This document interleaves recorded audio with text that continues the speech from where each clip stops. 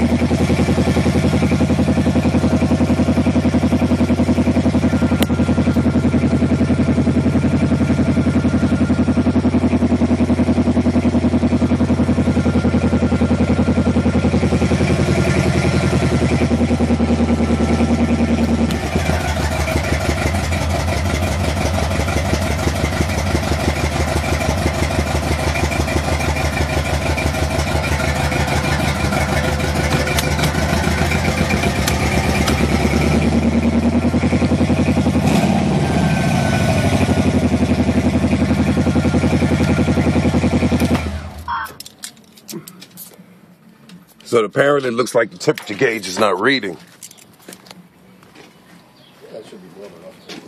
Oh yeah, not not a problem with that. But but why why the why the hell is my temperature gauge not reading?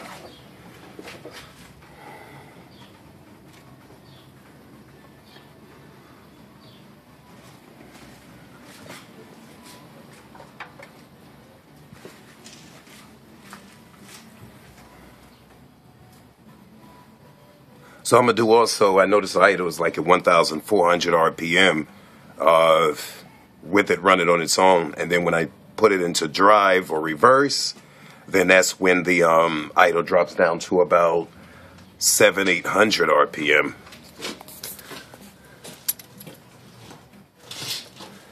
Let me check this out.